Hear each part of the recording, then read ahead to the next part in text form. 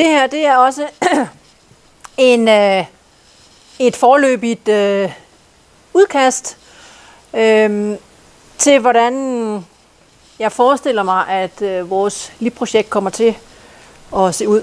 Og øh, det, som vores projekt det handler om, det er, der står udvikling mod professionelle læringsfællesskaber. Og det er fordi, for det første, så tænker jeg, vi skal udvikle en Bykholm-model. Vi kan ikke kopiere noget, som nogle andre laver, fordi min lærer er ikke organiseret i nogle faste teams. Jeg tænker, der er nogle ting, som er lidt anderledes, end hvis man er måske en større skole med mange elever. Altså alle mine lærere er med til alting over det hele. Så, så vi skal lige have tænkt en model for det.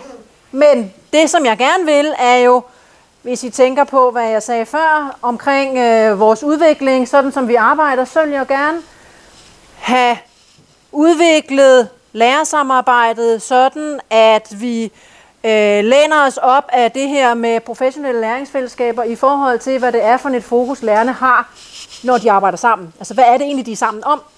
Det er at have et fokus på elevernes læring, når vi snakker om udvikling af undervisning. Så det er sådan set det, det handler om.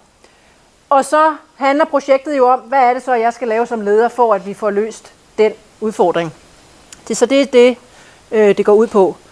Og øh, så, så det er noget af det, der er et af mine læringsmål, det er at kunne facilitere den her udvikling. En af de metoder, jeg tænker, vi skal arbejde med, det er, at lærerne de skal arbejde med kollegial supervision som vejen ind i at udvikle de professionelle læringsfællesskaber. Det tænker jeg, at det, det kunne være måden. Øh, jeg tror ikke, det kommer til at fungere for os at starte med at sige, nu har vi nogle teams, og så skal de fungere. Vi starter med at, at have noget at arbejde sammen om. Og det kunne være det her med at, at kigge på hinandens undervisning og, og udvikle, at vi kigger på øh, elevernes læring, når vi øh, giver supervision til hinanden. Vi har brug for noget videnoplæg. Det kan være, at det skal være nogle eksterne konsulenter, men jeg har brug for noget videnoplæg til, hvordan er det jeg så i sådan anden orden. Min supervision er den supervision, som lærerne laver. Min observation er det, de laver, sådan at jeg kan facilitere den proces. Så det kunne være noget af det, der måske var i sådan et eller andet videnoplæg, som var sådan en lip-aktivitet.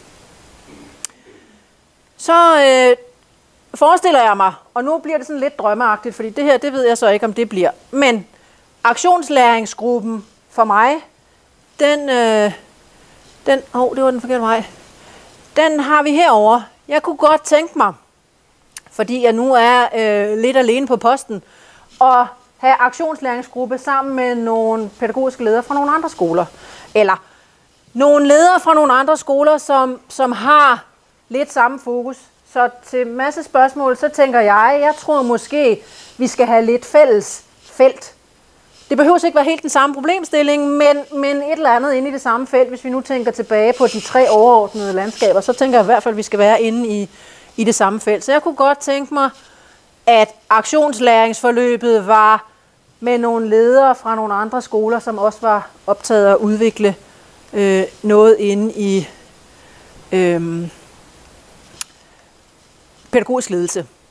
Så jeg forestiller mig, at den dataindsamling, vi skal have, og udfoldelse af, af nye øh, muligheder, er noget med at undersøge, hvordan, hvordan kunne vi arbejde med det her. Dels noget med, hvordan sådan rent inde i feltet, hvordan udvikler vi øh, professionelle læringsfællesskaber i sådan en erhvervsskolemodel for lærerne, og hvordan bruger vi så selv den sparring, vi har med kollegaer fra andre for eksempel skal vi jo så arbejde med noget med hele det der tillidsfelt. Altså, hvordan er det lige, at man kan gøre det her med nogen, man ikke arbejder sammen med til hverdag? Så, så der er også noget med, hvordan man sådan øh, gør det.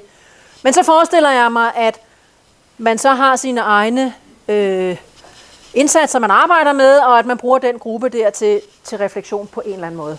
Og så har jeg ikke lige tænkt så meget længere over det, men, men det er det, som jeg forestiller mig, der skulle være aktionslæring her.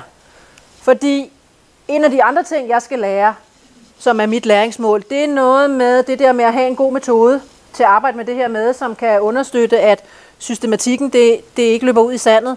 Så jeg kunne godt tænke mig at blive god til det her, fordi et næste skridt sådan videre kunne være, at lærerne i de grupper, der nu bliver ala professionelle læringsfællesskaber også skulle lære at arbejde på den måde, sådan at jeg vil gerne lære at blive god til det her, så jeg kan facilitere, at lærerne kan arbejde på den her måde. Sådan at vores udvikling fremadrettet bruger den model øh, sådan øh, internt. Så derfor så tænker jeg, at vores videre arbejde, nu har jeg lavet den sådan, så den kører øh, et helt år, bliver, at vi skal lære øh, en metode, øh, sådan at vores udviklingsarbejde kan, kan følge den, og deraf få noget systematik.